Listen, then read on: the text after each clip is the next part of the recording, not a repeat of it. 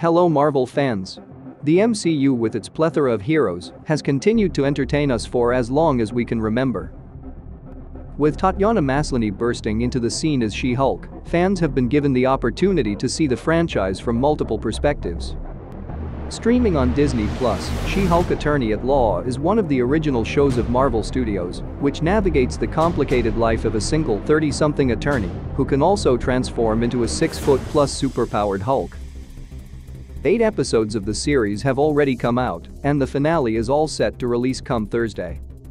Here's a tiny recap of what's been going on in the show off late and prepare ourselves for what is to come. Episode 8 delivered what fans were thrilled to see the return of the Daredevil, aka Matt Murdock. The episode is thrilling, as Jen and Matt face off against each other in the courtroom, as Leapfrog, Jen's client, sues the superhero suit designer Luke Jacobson for a faulty suit.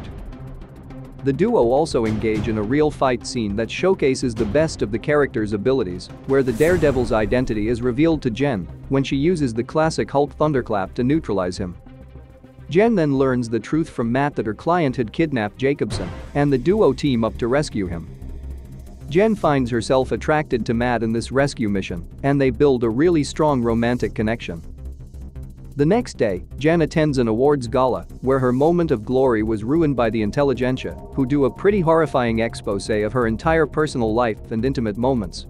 This causes her to hulk out, and she tears the gala apart before discovering a suspicious presence in the crowd who she chases after, only to find herself surrounded by agents from damage control. The episode ends in a real cliffhanger, leaving fans excitedly waiting for the finale. And here's what we think might happen.